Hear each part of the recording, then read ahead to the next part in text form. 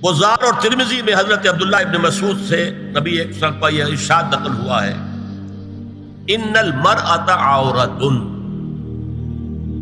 औरत छुपा कर रखने की चीज़ है। इन्नल मर औरत फैजा खरजत, जब वो घर से निकलती है इस तशरफा शैतान, अब शैतान जो है उसको ताक में रखता है। वाकरबून बेरोह के रबहा वही अफीका बेतहा वो अपने रब की रहमत से करीब तरीन होती है, जबकि अपने घर के भी किसी अंदरूनी हिस्से इसीलिए फरमाया, मर्दों के लिए मस्जिद में नमाज़, अफसल 28 गुना। और औरत के लिए घर की नमाज़ मस्जिद से अफसल। घर के सहन की मस्जिद से अफसल। दालान की सहन से अफसल। कमरे में उससे अफजल और कमरे की को बगली कोठड़ी है तो उसमें सबसे अफजल। यह से नबी अब्दुल्ला इब्न अहमद, इब्न हम्बल ने जवायद जहद में और इब्न अबी शहबा ने इब्न साद ने अपनी किताबों में मसरूख की रिवायत नकल की है कि हज़रत आयशा जब तिलावत कुरान करते हुए इस आयत पर पहुँचती थी वकर नफी बुयूत कुल्ला तो बेख्तियार रो पड़ती थी। कुरान कहते अपने घरों में रहो। हज़रत आयशा ने शहादत उस्मान के बाद बाहर निकलकर लश्कर की क्यादत फिर सारी उम्र अफसोस था कि मैंने गलत कहा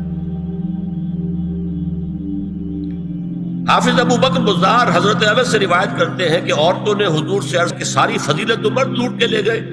वो जिहाद करते हैं खुदा की राह में बड़े बड़े काम करते हैं। हम क्या अमल करें कि हमें भी मुजाहिदीन के बराबर अजर मिल सके? जवाब में आपने फरमाया मन कादत बिन कुन फ़ी फ़ैनहा तदरक अमल मुजाहिदीन। तुम में से जो शख्स अपने घर में बैठी रहेगी, वो मुजाहिदीन का अजर हासिल कर ये एक हवा का रुख है, बताया जा रहा है। ये निज़ाम है जिसको इस शक्ल में दिया जा रहा है।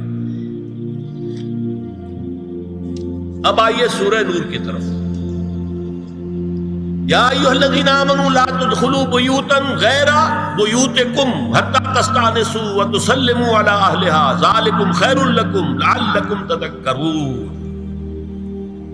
ईमान, मत हरगिज मत दाखिल हो, अपने घरों के अलावा किसी और घर में, जब तक कि तुम उनके साथ मानूस ना हो जाओ, इज्न न ले लो, उन पर सलाम ना करो, यही तुम्हारे लिए खैर बेहतर है। उसके बाद तफसील आई है, उसमें मैं इस वक्त नहीं जा रहा और जो लोग इस पर अमल नहीं करते, उनके बारे में कुरान मजीद क्या कुछ हुजूर, क्या कुछ फरमा रहे हैं, ये आप सुन लीजिए। बहुत सख्त आकाम। अनबी हुरैरता रज़ी अल्लाह अन्हु अन्ना रसूलुल्लाह सल्लल्लाहु अलैहि वसल्लम काल, लौ नमरान इत्तला अलैका बगैर इज़्निन, फखज़फ्तहु बिहशातिन फफक़अत ऐनहु मा काना अलैका मिन जुनाह। मुत्तफ़क़ुन अलैह, बुखारी और मुस्लिम दोनों की है। अगर कोई शख्स तुम्हारे घर में बगैर इजाज़त के दाखिल हो जाए और तुम उसकी सजा के तौर पर उस पर कंकरियाँ फेंको और उसकी आँख फूट जाए कंकरी से तो तुम पर कोई गुनाह नहीं। बगैर इजाज़त के घर में आ गया है, बगैर इज्न के, बगैर इस्तीजान के, कंकरियाँ मारो और कंकरी से आँख फूट जाए। फमा का नाले कोई हर्ज नहीं। अब आ रही है असल आयत। उल्लिलमोमिनीन यगुद्दू मिन अबसारिहिम व यहफजू लहुम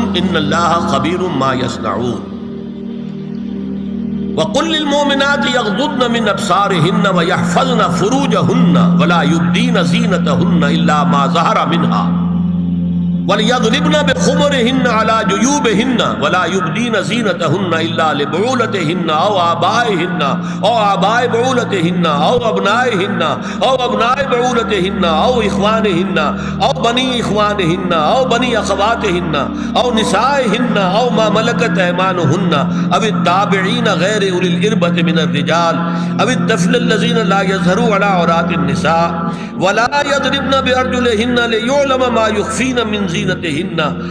वतूबू इलल्लाह जमीअन, अय्युहल मोमिनून लअल्लकुम तुफ्लिहून। ये लंबी आयत है। अहले ईमान, ए नबी कह दीजिए अहले ईमान मर्दों से अपनी निगाहें नीची रखा करें और अपनी शर्मगाहों की हिफाजत करें। यही उनके लिए ज़्यादा पाकिजा अमल है। इन अल्लाह खबीर और जो कुछ वो कर रहे हैं अल्लाह उससे वाकिफ है। वकुल्लिल मोमिनात यौदुन्ना बिन अबसार और मोमिन औरतों से भी कह दीजिए कि वो अपनी निगाहें जो है नीची रखा करें। भैया फजना फरूज अपनी शर्मगाहों की हिफाजत करें। वलायुद्दीन मा जहरा बिनहा और अपनी जीनत को ज़ाहिर ना किया करें, सिवाय उसके कि जो बिल्कुल ज़ाहिर हो जाए।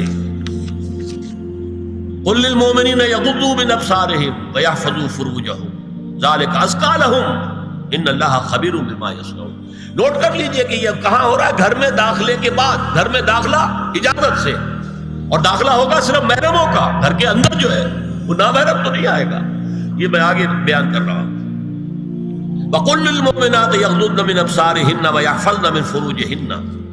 और कह दीजिए मोमिन औरतों से भी कि वो भी अपनी निगाहें झुका कर रखें और अपनी शर्मगाहों की हिफाजत करें। वलायुद्दीन जीनत मा जहरा मिनहा। महरमों से पर्दा क्या है? महरमों से। उसका नाम सत्र है। औरत का पूरा जिस्म सत्र है, सिवाय चेहरे की टिकिया और ये हाथ और ये पाँव। बस। क्या मतलब है? भाई भी नहीं देख सकता बहन के जिस्म का कोई और हिस्सा। बाप भी नहीं देख सकता, बेटी के जिस्म का कोई हिस्सा। यह सत्र है, सत्र। सत्र महरमों से पड़ता है। वल यदरिबना में खोबोर हिन्ना अला जुयूब हिन्ना यह भी घर के अंदर की बात हो रही है। क्योंकि मैं पहले बता चुका हूँ जलबाब होता था जब घर से बाहर निकलती थी औरत। तो वो अपनी चादर लपेटती थी, अपने गिर चेहरा नहीं ढांपती थी।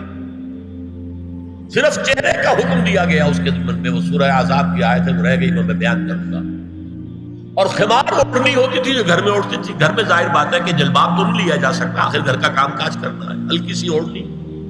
वो घर में। लेकिन फरमाया, वल यदरिबना बेखुमर हिन्ना अला जुयूब हिन्ना और उन्हें चाहिए कि अपनी ओढ़ियों के, बुक्कल ओढ़नियों के, अपने सीनों के ऊपर, गरीबानों के ऊपर भी मार लिया करें।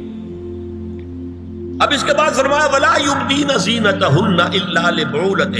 अब यहाँ ये जीनत का लफ्ज आ रहा है चेहरे के और चेहरे ही में कुछ सिंगार भी होता है।